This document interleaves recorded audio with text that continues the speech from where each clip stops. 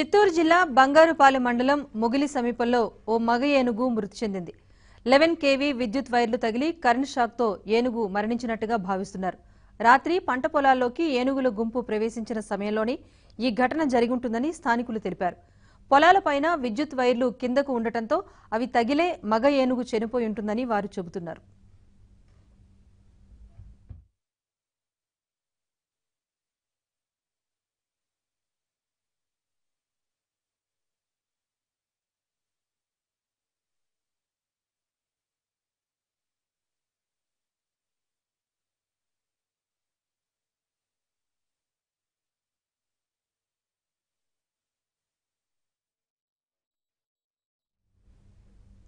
చిత్తూరు జిల్లా బంగారుపాలెం మండలం ముగిలి సమీపంలో ఓ మగ ఏనుగు మృతి చెందింది.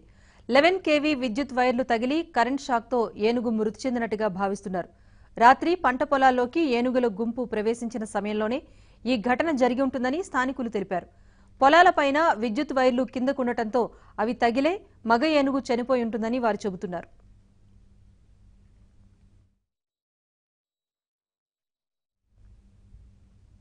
ఇవి